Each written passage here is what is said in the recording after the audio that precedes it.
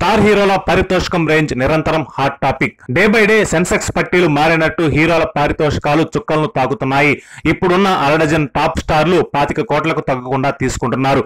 ఆ పైన area release హక్కులు లాభాల్లో వాటాలు అంటూ చాలానే ప్యాకేజీలు అందుకుంటున్నారు.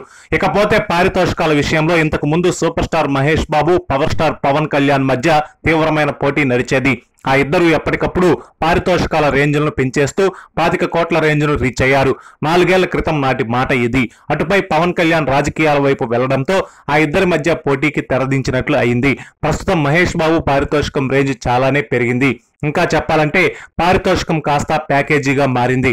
అయితే ఇటీవల power star Pawan Kalyan pink రీమేక్తో reentry ఇస్తుండటంతో మరోసారి పవన్ కళ్యాణ్ మహేష్ బాబు పారితోషికాల గురించి ఆసక్తికర చర్చ సాగుతోంది.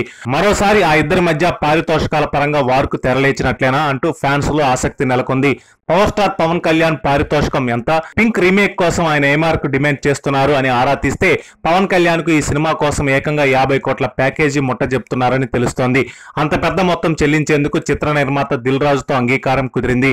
ఇక పవన్ కళ్యాణ్ పారితోషికం విషయంలో తగ్గాల్సిందిగా దిల్ రాజు బ్రతిమాలాడుకోవడం పైన తాజాగా ఓ గుసగుస వినిపిస్తోంది. పింక్ రీమేక్ డబ్బింగ్ రైట్స్కు అవకాశం లేదు.